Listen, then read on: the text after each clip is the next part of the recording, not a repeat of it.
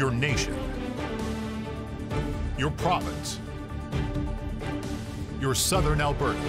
From the heart of Lethbridge, it's Bridge City News Weekend Edition. Hello, I'm Naveen Day. Thanks for joining us for our week in review. The Alberta government passed its first bill since the election. Bill 1, the Alberta Taxpayer Protection Amendment Act, prohibits the government from increasing personal or corporate income taxes without Albertans' approval through a referendum. One commentator said Alberta Premier Danielle Smith is figurative, figuratively slapping the handcuffs on herself, making it nearly impossible for her government to raise taxes. The bill passed its third reading 47 to 35. The province also announced some changes to Alberta's healthcare system. It includes transitioning Alberta Health Services into an organization which focuses more on hospital care, urgent care, cancer care, surgeries, and emergency medical services. It will also answer to a seven member board. Alberta NDP leader Rachel Notley says the changes will open the door to privatization, but Premier Danielle Smith says, quote, there is absolutely no plan to privatize healthcare. At a news conference during last weekend's AGM in Calgary, she corrected a journalist by saying she's not looking to dismantle AHS, but rather disaggregate it. The way I think about it is Alberta Hospital Services. They should be providing the very best acute care in our 106 or so acute care facilities that we have across the country or across the province. Um, and so some of the things that you've already seen, you'll see a little bit more of. For instance, we already began the process of disaggregating mental health and addiction. It's a separate ministry that has uh, it's it's a separate authority, and more of those resources are going to fall under mental health and addiction. You saw a couple of weeks ago primary health care. That is now also a separate pillar. Smith is promising that frontline jobs will be protected, but says there will be a quote process of streamlining in the management layers. The transformation is expected to take up to two years. Our legislative reporter and the Alberta correspondent for the National Post, Tyler Dawson, says talk of the proposed changes actually came out in a leaked document earlier this week. It's a big overhaul, and I think you know at this point people are still sort of trying to uh, digest it and figure out what it means. But but the Coles Notes version of it is that you're going to have four sort of separate agencies running healthcare in the province. You're going to have AHS is going to be responsible for ho- hospitals and acute care. You're going to have a separate board for addictions and mental health, a separate board for continuing care, and a se- separate board for primary care. And there was record breaking attendance at the BMO Center last weekend as more than 3,700 delegates attended the United Conservative Party's annual general, general meeting. BCN was there and reports that almost all resolutions passed. One person is taking credit for why this year's numbers are so high.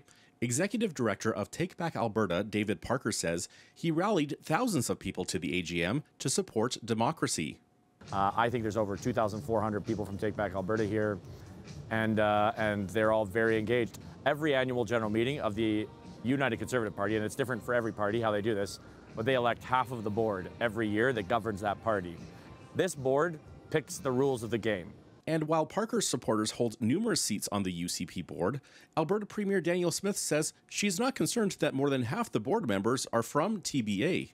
If anything, I would say the, uh, what I hear mostly from people who want to seek a position on the board is they want to make sure that we have fair, open nominations, that we allow for um, a proper vetting procedure in advance of somebody being told uh, of a race being open, so that people are told whether or not they're going to be allowed to run in advance. Those are the reasons why people go on a board. And during her keynote address, Smith took time to fire shots at federal leaders. Even despite losing on Bill C 69, that legislation was struck down by the Supreme Court. They are still hell bent on imposing those destructive leftist policies on the people of Alberta. You know what I say to them? Not a chance. Not as long as I'm Premier. Two major issues in which Smith received the most applause were the government's plan for disaggregation of Alberta Health Services and parental rights. I want every parent listening today to hear me loud and clear. Parents are the primary caregivers and educators of their children. Attendees also approved 29 of the 30 policy resolutions. These include banning the use of electronic voting machines and provincial funding to supervise consumption sites and to refuse transgender women to be housed among biological female inmates in correctional facilities. A motion to implement a school voucher system was defeated. Policy resolutions are brought forward by party members and are non binding, but they do provide grassroots direction on what it thinks the government's policies should be. Still to come, many Albertans are saying, hands off our CPP. Plus, we honor the veterans on this Remembrance Day.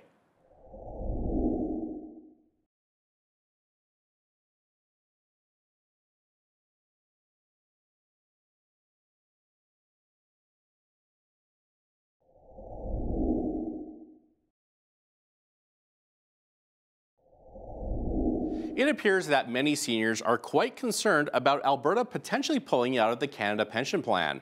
It was a hot button topic that was not brought up during Pre Premier Smith's address at the UCP's annual gen general meeting or during the throne speech. But it doesn't take away from the fact that it's on the minds of many Albertans, including our seniors. Jeannette Rocher reports. At first, it was like panic because you never know what the heck's going on with your livelihood as we get older. No, it's a little bit scary. Scary, not just for herself, she says. DeJager is worried for her kids who still have a few working years ahead of them. A little bit leery for the younger generation, let's put it that way. On the flip side, the provincial government says the people of Alberta pay too much into CPP compared to the benefits they receive, and that an Alberta pension plan would fix all of that. But for now, DeJager says she's not buying Premier Danielle Smith's promise that seniors and working Albertans could actually see more money in their pockets if Alberta pulls out of the federal plan for its own provincial one. I think that it's just kind of a kind of enticing to make make it sound like they're benefiting, but we don't know that yet. So that's still to be found out. Also to be found out is the actual amount Alberta would be entitled to. Uh, we're not getting consistent information from different sources about what we're entitled to. Bradley LaFortune is the executive director of Public Interest Alberta. He's been doing talks around the province about some of the concerns they're seeing with the province's proposal. Number one, it's not a priority for most of the Albertans that we're talking to. People in Alberta are concerned about the economy, affordability, access to things like healthcare. Number two, within the details of the proposed plan, it's very clear that nobody except for the UCP government thinks that Alberta is entitled to 53% of the asset pool, which is $334 billion. Federal Finance Minister Chrystia Freeland recently said she would ask the chief actuary to provide an estimate of the asset transfer. But Alberta's choice about the CPP also implicates every single Canadian. And although Premier Smith did not address the issue during the UCP annual general meeting over the weekend, she did respond to questions about it at a media scrum. If there was any movement on that, it would be put to a referendum. All the assets would be put towards the fund, as well that you'd either have to see an equal or better benefits or equal or lower premium. I was pleased to see that Chrystia Freeland committed. And once we have that number, we'll have a better idea of whether or not Albertans want to go to a referendum. CPP has been with us since 66 it's been good for 60 years. Why, why fool around with it? Let's put that way. For Bridge City News, I'm Jeannette Rocher. This week, we observed not just Remembrance Day, but also National Indigenous Veterans Day. Many Canadians are not aware of the many sacrifices Indigenous people made in fighting for our freedoms and helping form the Canada we have today. Charles Crowchief is the son of an Indigenous First World War veteran who fought at Vimy Ridge. I had the opportunity to sit down with Crow Chief to hear some of the stories his father passed down to him. You may recognize this mountain as Vimy Peak in Waterton. However, to the Blackfoot people, it is Mestoi Nanastiko, which translates to Crow Chief Mountain, named after Joe Crow Chief. Crow Chief fought in the First World War, particularly in the Battle of Vimy Ridge. The mountain was later unofficially named after him for his deeds on the battlefield. His son Charles was in Lethbridge to share some stories. Shortly after leaving his residential school, Crowchief enlisted in the Canadian military. He says he regretted going to war. This war doesn't belong to us native guys. We have nothing to do with it. But we go over there. I found out. What am I doing here? Shooting other people. They didn't do anything to me. Charles also shared a story of how his father saved a wounded soldier's life at risk of being shot by Canadian soldiers. When he got uh, the, the leaders, I will shoot you, both of you, right now. You know, we can't doctor him. He says, I didn't care. I saved him from that place.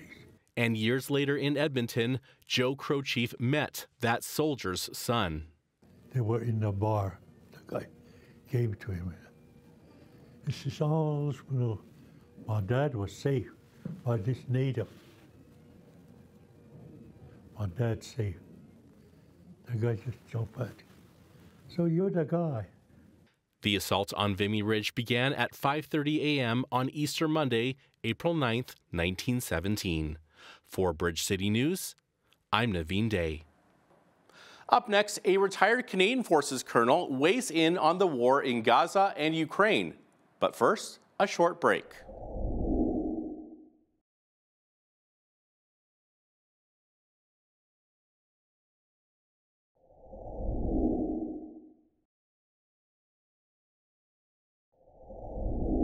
You know, some of the most terrifying moments in our history have been in the midst of conflict.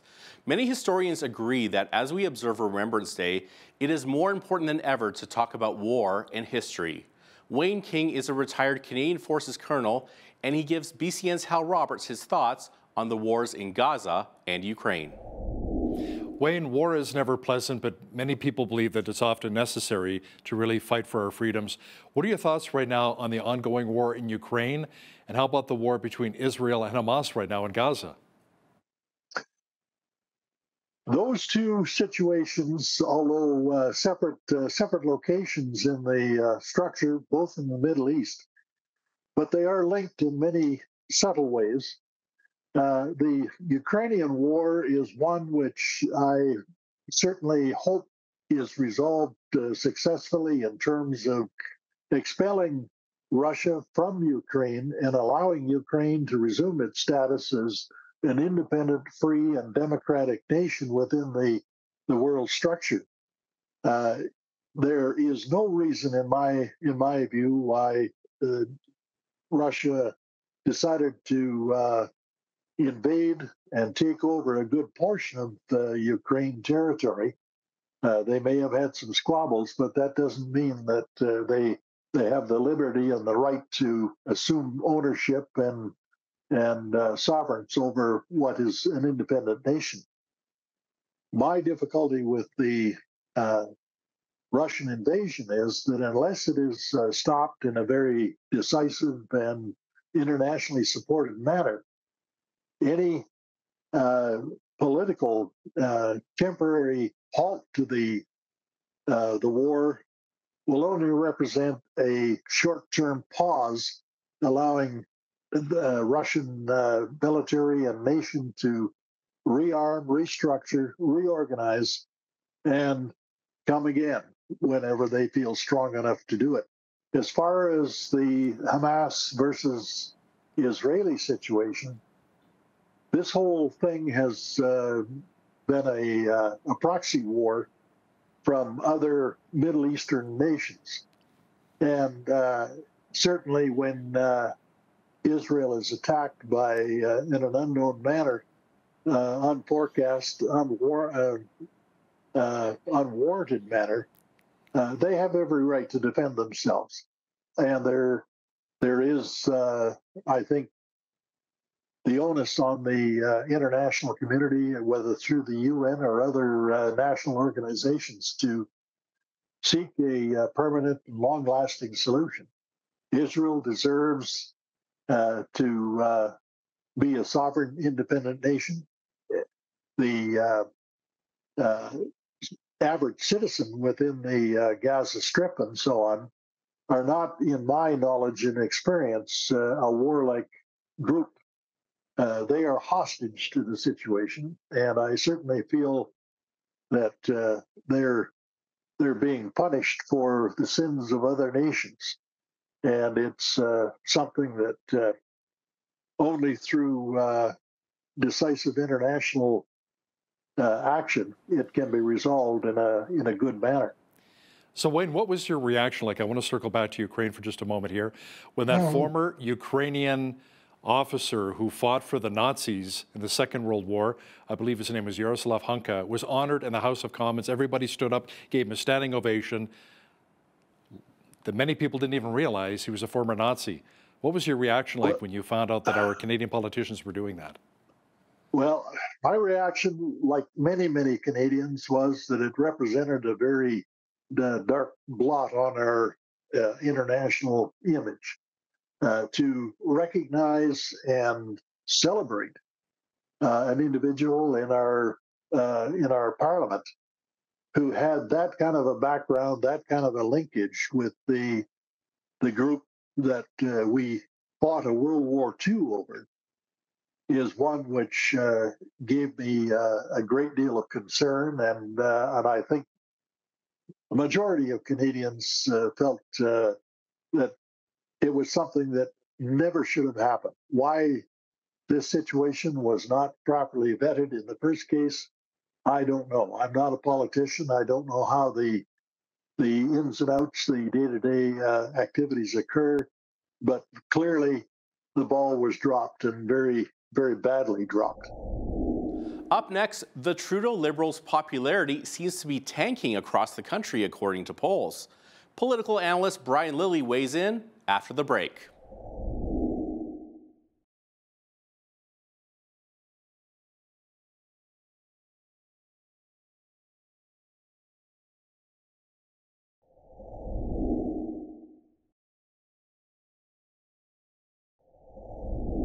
Welcome back. The United Conservative annual general meeting in Calgary was well attended by the party's delegates, but also by the media.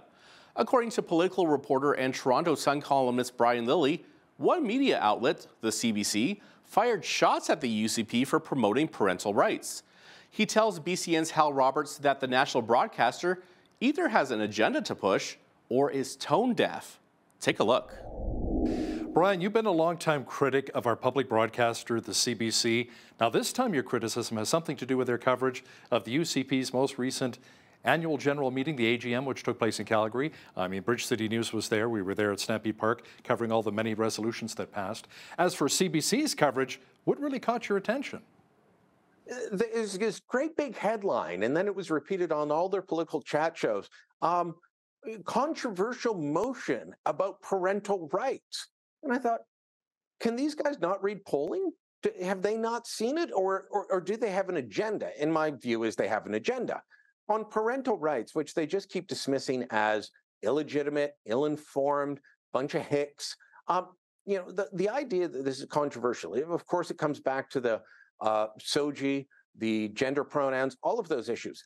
And the the most definitive polling we have on this is from a few months ago from the Angus Reid Institute.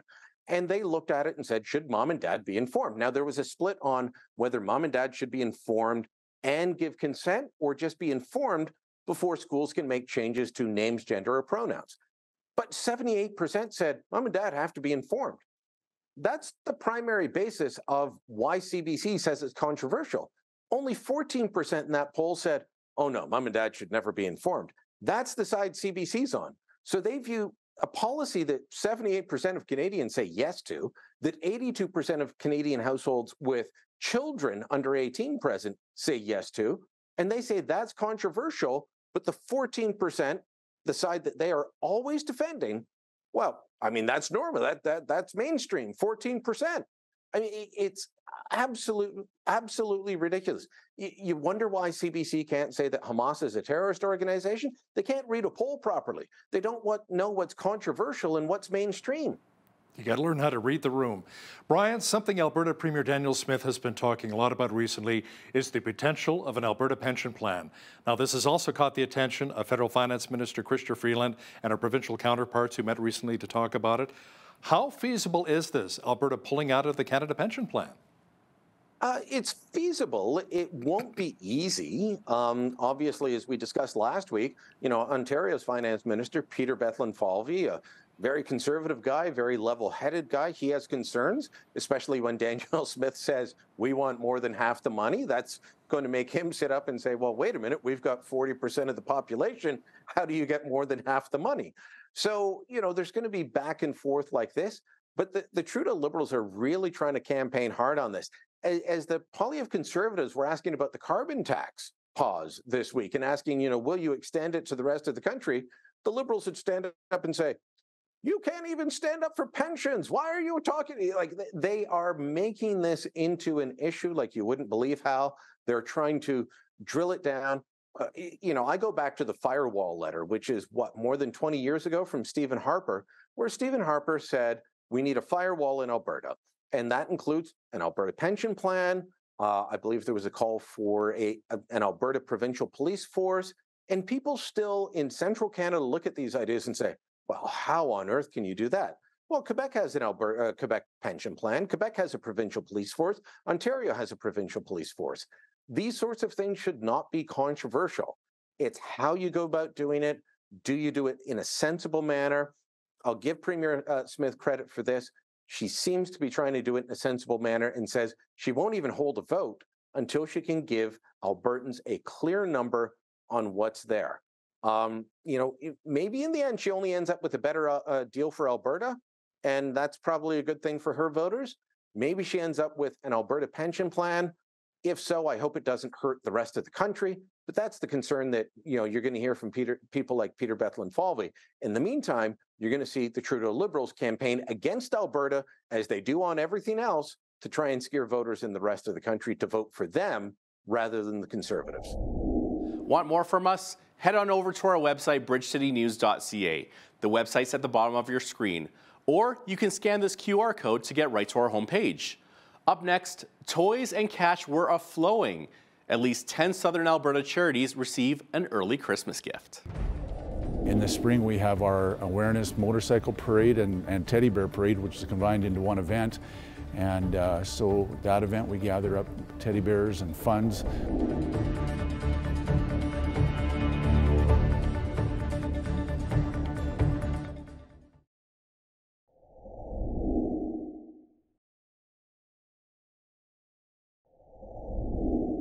Welcome back. It's that time of year when we need to start thinking about Christmas giving. But it appears one organization is already ahead of the game. Instead of using Santa's sleigh to deliver toys, though, they've ridden motorcycles to collect them throughout the year. As Jeannette Rocher reports, several Southern Alberta charities benefit, benefited from the generosity of the Southern Alberta bikers. A little bit of a donation, and oh, we'd like Christmas came early for at least 10 local nonprofit charitable organizations this week. Bags and bags of toys were packed up, carried out, and delivered to children at YWCA's Harbor House, Lethbridge Family Services, Chinook Regional Hospital, as well as the Coalhurst Legion. The toys are going to go to our kids' Christmas party, which is happening on December 10th for members, children um, ages 12 and under. The stuffies accompanied some giant checks, most for $500, but all of them totaling 10 grand and they were handed off by the Southern Alberta Bikers Association. Dallas Hardy is their president. Um, our fundraising efforts have been just so successful. We're just gleaming with happiness. We actually sanction two major events throughout the year. Uh, in the spring, we have our awareness motorcycle parade and, and teddy bear parade, which is combined into one event. And uh, so that event, we gather up teddy bears and funds. Um, a lot of that goes to the Chinook Regional Hospital. And then in September of each year, we have our uh, Southern Alberta Toy Run. Again, uh, cash, teddy bears, toys, um, all donated, um, stuff donated from the general public and the business community. Lethbridge Pregnancy Care Center received their donation while celebrating their 10 year anniversary. And in that time, we've had over 1,900 women come through our doors. So we're really thankful for that donation of $500. That'll go a long ways to help our clients. So not only do we offer that emotional and practical educational support, but also practical supports. And so that can look like things like diapers, formula. For a lot of women, um, a concern for them in parenting is the financial piece. Knowing that there's somewhere that they can get support with those things is a huge relief and can really lift the burden. Donations also went to Lethbridge and District Humane Society to help dogs like Tony here also receiving donations were Streets Alive Mission, Chinook Child and Youth Advocacy Center, Lakeview School, the Good Samaritan Society, and the Green and Yellow Group. Just a great day for us as a group to be able to go out and put some smiles on, on faces and, and see the fruits of all of our hard work through the, through the year. For Bridge City News, I'm Jeannette Rocher. Teachers became students this past week.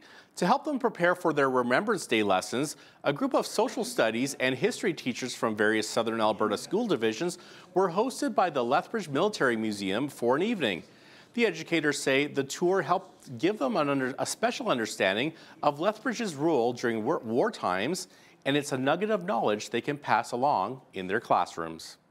That's right. It's about bringing the history to life of Southern Alberta and being able to connect with the kids in their own classrooms here. I think that was the whole reason behind organizing tonight is so so a lot of our younger teachers who haven't had a chance to come to the museum would get a chance to come and and see yeah the amazing array of artifacts that we have. I think a lot of people maybe don't appreciate the rich military history that Lethbridge has and this museum is a, is a great place to start. I'd love to bring my students here, yeah, for sure.